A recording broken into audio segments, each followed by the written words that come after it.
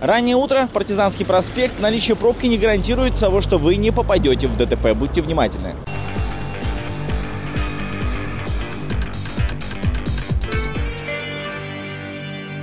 На Партизанском проспекте столкнулись три автомобиля. Этот автопаровоз занял половину проезжей части, из-за чего со стороны кольца инструментального завода скопилась пробка. Все трое водителей, как это ни странно, имели одну версию того, что произошло, просто с немного разных ракурсов. По памяти помнится, что вроде бы э, ребенок держал собаку маленького, и собачка убежала через дорогу. Я по тормозам, и вот все произошло. Вот.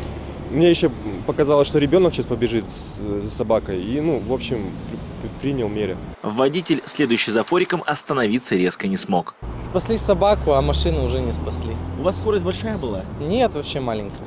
Почему не успели остановиться? Они, он не, неожиданно, потому что автобус выезжал, я за автобусом выехал, и он встал резко.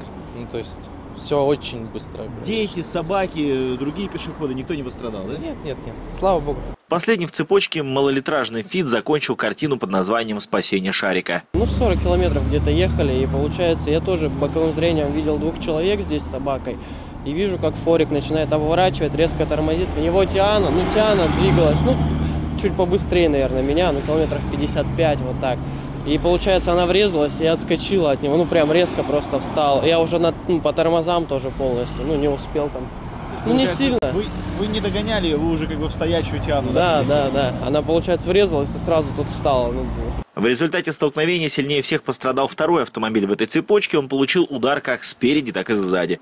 Кстати, в отличие от остальных, Nissan с места происшествия уедет в кузове эвакуатора.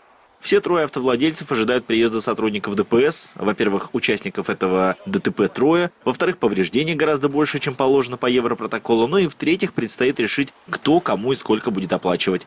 Несмотря на достаточно внушительные повреждения, водители не расстраиваются, ведь самое главное, никто из людей и даже животных в этой аварии не пострадал.